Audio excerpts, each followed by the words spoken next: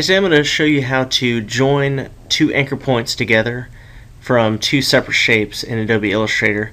This can come in handy when you've created two or more shapes and you want to combine them together uh, so they're on the same path. So I'm going to choose the pen tool up here, just a new file in Adobe Illustrator. Click, click and drag. So we just got a simple curved line here. I'm going to choose the selection arrow, go back to the pen tool, and create another one Alright, so there's two there.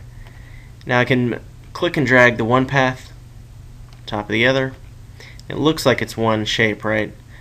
Uh, if I click on one of them though and move, it will only pull that one. So to join these, what you can do is you can take a selection arrow and click and drag around this area where you want to join them, right click over, and go to join.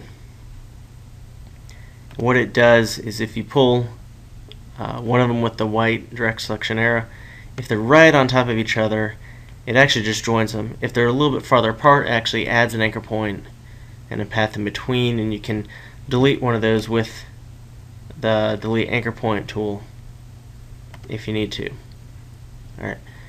You can also do this to close out uh, paths. So if I click, click and drag, let's say you're making some kind of wave here, and you really want it to be closed out and you know maybe you're creating something else. Let's say we're creating a star over here.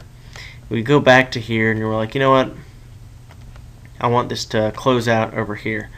What you can do is if you select around it right click join then it basically wherever we ended off it goes a straight line to the beginning point. So it closes it out now notice you can't use this with like compound paths or closed paths. So for example, two stars like this, put them on top of each other, trying to join them right here, right click, join, it's not going to work.